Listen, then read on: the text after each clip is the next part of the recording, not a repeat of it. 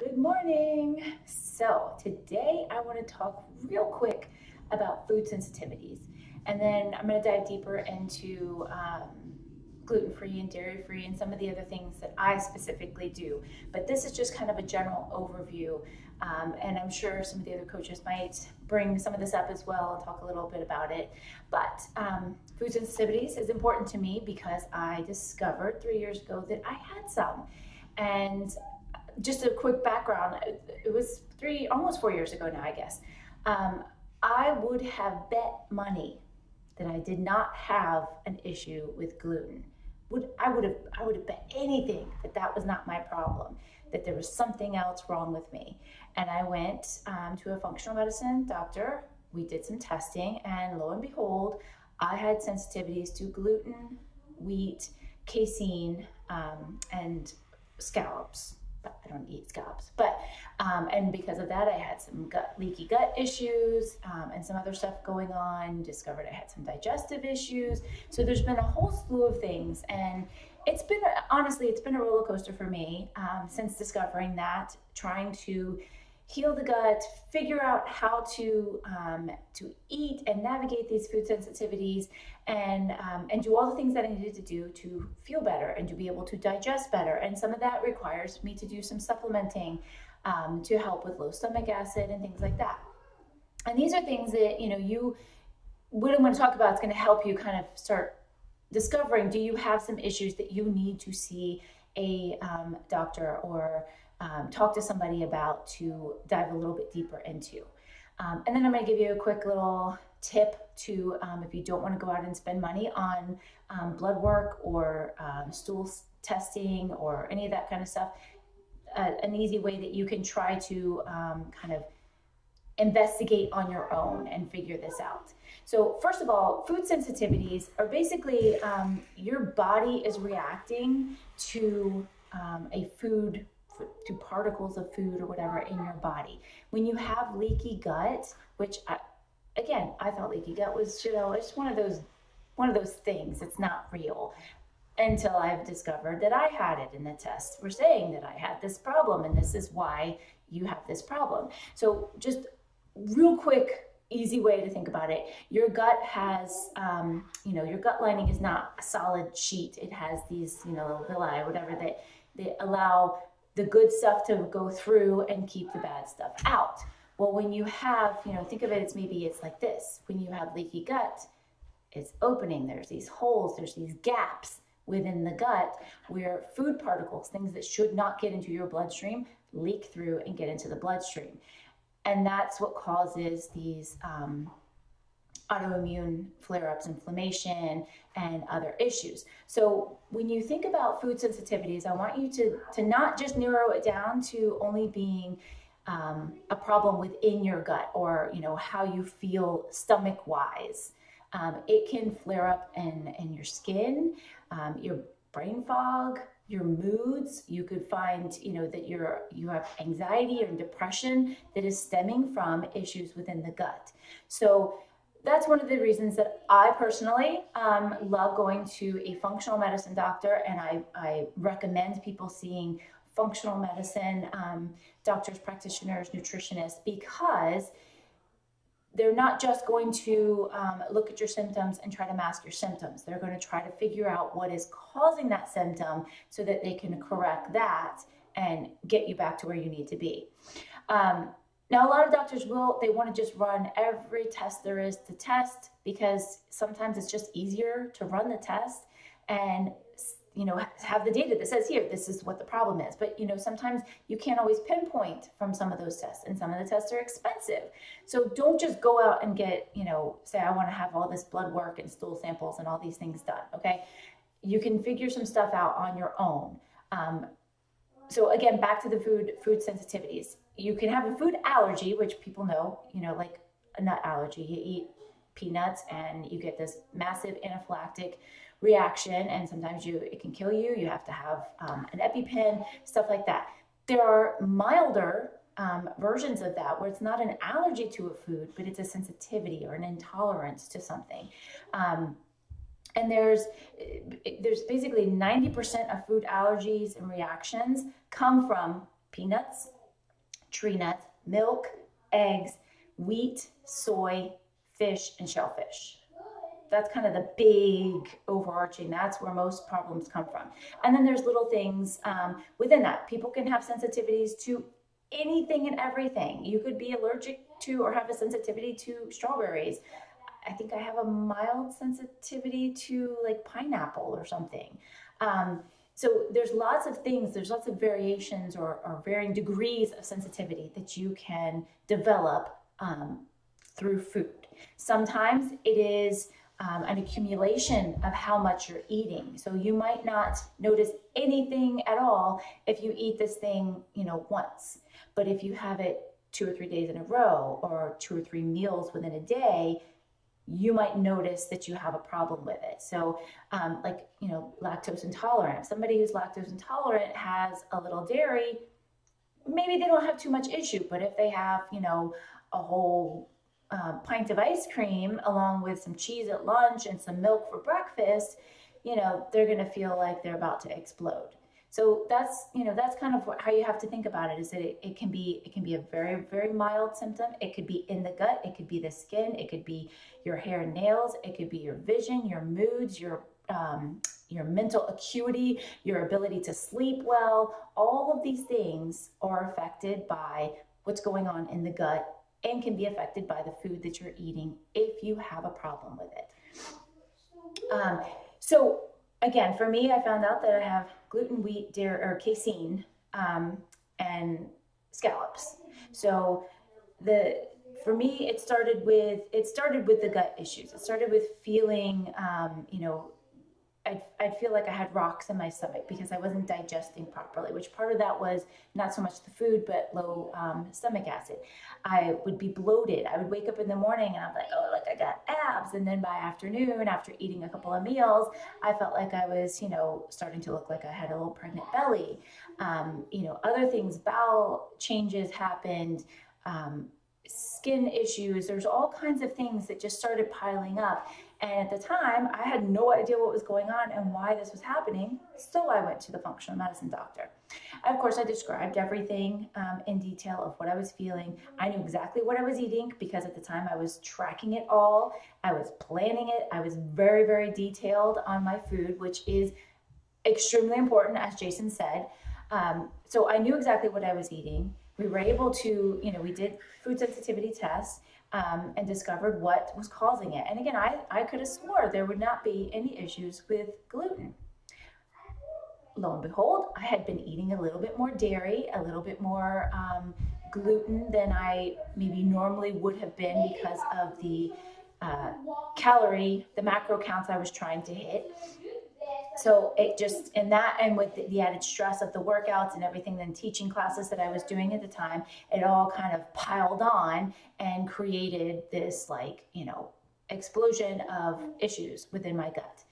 So that all being said i'm going to give you tips on what you can do one to try to investigate for yourself um, and see if this is maybe something, there's something that's bothering you that you should um, think about. And then also a way that you can further the investigation and try to um, correct some of the problems. So first of all, um, like Jason said before, the one thing, one thing, if you're going to do one thing this whole month, um, is tracking. Track what you eat. Somehow write it down. Even if you're not going as detailed to the gram of what you're eating, track everything you are eating. So you know exactly each day what you are putting into your body. Also, with that, a good idea is to track how you feel. How do you feel that morning when you wake up? How do you feel after that meal? How do you feel that night? How was your sleep quality? How many times do you go to the bathroom? What does your poop look like? Let's be honest. There's a lot you can learn from what's going on inside your digestive system by what your poop looks like. So I'm not going to get into that here. If you want to know more, we can talk more um, maybe privately about that. But these are all things that are good to know. They're, it's good to document this stuff. If you eat certain foods and then immediately after or later that day, you start having symptoms. then you can start tying it back. Okay, so maybe, you know, I don't have that tomorrow. Do I still have the symptoms? I don't have it for two or three days. Do I still have the symptoms? I have it only once a week. Do I get symptoms? I've had it three days in a row. Am I all of a sudden getting these symptoms? These are the kind of things that if you are tracking, you can look back. You have that data to look back at and and use. If you're not tracking, do you remember what you had yesterday for breakfast, lunch, and dinner and snacks? Maybe, maybe. Do you remember what you had two days ago? If you didn't take pictures of it or write it down, do you remember what you had on um, Sunday or Saturday? You may not. I certainly don't. I couldn't tell you everything I ate um, two days ago. I could tell you yesterday. I did track it. I could tell you yesterday, but Monday I probably would forget some stuff. So that's why tracking is good. Not only tracking what you're putting in your body, but how you feel and what symptoms, what things are arising. Do you all of a sudden get this rash um, on your neck, on your back, on your hands? Do you all of a sudden feel really gassy and bloated? You should not feel gassy and bloated after eating. You shouldn't. If you're digesting well and you're eating good foods, your body should not respond that way. It's not normal to be gassy all the time, even though we make fun of it and you know we say that we are. Um, these are things that you want to you want to note and you want to recognize in your um, in your your food journal, your tracking. Um, and then from there, the next step would be if you discover, like, I'm having these issues, I think something is causing my body to react in a negative way. I want to try to figure it out. I don't want to go to the doctor and spend a bunch of money. This simple, easy way to do that is through an elimination diet. And I know diet is the bad word, we don't want to say that, but it's an elimination diet. And it's exactly what it means. You're going to eliminate things, then you slowly reintroduce, and you repeat until you can confirm what, if anything, was causing you problems. So when you go through an elimination diet, you usually go through the main, kind of the main things that cause people problems. Gluten for sure, um, dairy is a really good one. So a lot of times beans, coffee. I know sometimes people eliminating coffee might be a really pro- a, a, problem. Um, citrus, processed foods of all kinds, definitely get rid of that. I mean, just get rid of that permanently. It's probably a good idea, but get rid of that. Um, hydrogenated oils are really bad. You should get rid of that. Uh, sugar, sugar, and sometimes even some of the sugar substitutes can cause issues. So, you know, it, I'm not going to lie, I did this and it was a struggle because it all of a sudden made me have to rethink what am I going to eat because all and eggs that was a big one for me. That was that one was probably the hardest was to get rid of the eggs. I'm like, well, what am I going to eat for breakfast? I can't have dairy. I can't have eggs. I can't have gluten. So I was like, everything that I would normally have eaten for breakfast is now off the table. So it is a struggle, and it, and I'm not going to lie, it's not going to be easy. Um, and you need to do it for at least at least three weeks. Eliminate stuff. Completely eliminated. At least three weeks minimum. Preferably more like maybe six weeks to maybe getting close to a month, two months, three months that's the longer you can eliminate it, the better. One, it's going to make it much easier to never have it again if it is a problem because you've gone so long not having it, you get used to not having it. You will discover so many new things that you can eat and different ways to eat. Um, you know, like for example, breakfast doesn't have to be breakfast, your traditional breakfast food. You can eat anything. You're breaking your fast. Eat whatever you want. If you want to have a steak and broccoli for breakfast, go for it. It's food. As long as it's good food, it's food. It doesn't matter what time of the day you throw it in there. I personally love breakfast food. I would eat breakfast food all day long if I could, and sometimes I do. So don't we have to break that cycle of, you know, breakfast is this type of food, lunch is this type of food, and dinner is this type of food, and my snacks have to be this kind of food. Your food, as long as it's real food, it doesn't matter when you have it or what you have it or, or what, what time of day you have it, what meal you have it at. Your, you know, your snacks could be a smaller version of what you had for breakfast or lunch. I mean, that's that's where you want to get to. And the elimination diet will kind of help push you into that because you have to rethink food when you eliminate so many things. So again, you eliminate the big eight, the, the big main things that people um, have allergies to that I already mentioned, and then the common food things like gluten and dairy and um, and eggs and caffeine and all that kind of stuff. And again, if you want to know more, we can talk more about it. So you go through, you eliminate all this stuff, you relearn how you're eating, you're still tracking everything you eat and how you feel. And it's going to take time for whatever reaction your body was having to go away, to kind of settle down. Um, especially if it is a like a massive reaction, something that's really been built up. I mean, it can take months and months for you to be able to heal the gut if you're having, you know, leaky gut or something like that. And especially if you don't take out those things that are causing that leaky gut. So after at least three weeks, if your symptoms haven't subsided, you need to go a little bit longer. If they have subsided, then you can think about, all right, I want to reintroduce something. And you pick one thing and you reintroduce that one thing for a week. And it's not just a once, you know, if you do it once and you have immediate reactions, well, you know that's a problem, take it back out. If you have it once and there's nothing, then you make sure you have a little bit more, have it twice, have a little bit more. You want to be able to, you know, compound it up a little bit to see do I do I react to this at some point? And if you go a whole week and you've eaten this stuff multiple times through the week, multiple times a day, and you're not having any reaction, well then that one's permanently back in and you move on to the next thing. So it is a long, drawn out process, which yes, sometimes it's nice just go and say, all right, here's my food sensitivity test, and it says that I have these issues. I'm just going to eliminate those things and see how I feel that's certainly a route you could take if you want to spend the money on the blood work. Sometimes it's not very um, cheap, and sometimes insurance won't pay for it. So the elimination diet is your free version of doing this. So again, you eliminate all the things.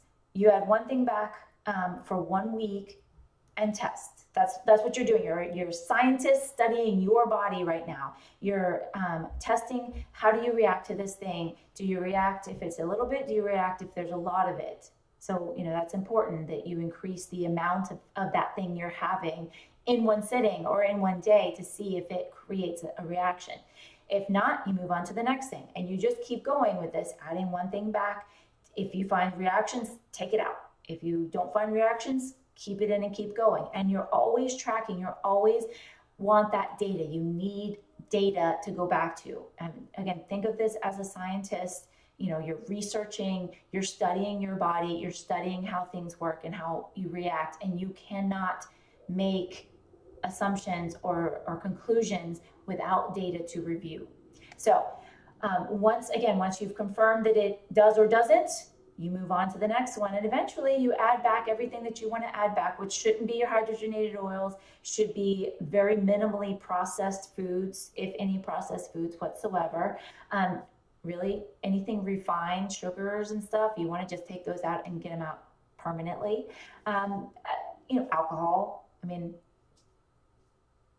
if you like to drink, have a have a drink. I'm to actually talk about some of the, the wine that I like um, that is that is, you know, I won't say good for you, but that is a better um, version if you're if you want to have wine. So there's lots of ways to once you add stuff back in or add similar stuff back in, you're not you're not going back to where you were. You're at a much better place. You know what's going on in your body. You can now um, enjoy some things and better versions of them. Is what I'm trying to say. So that is all I have for today. I know I probably went overboard here a little bit, but I wanted to get that in there. I'm going to share um, what I would I use gluten-free products? I'm going to share some products on here for you guys as well because I know that can be a good thing. Um, even if you don't feel that you have a gluten sensitivity, it never hurts to remove some of it, um, especially when it comes to like breads, the processed, heavily processed stuff. So that is it. I will see you next time.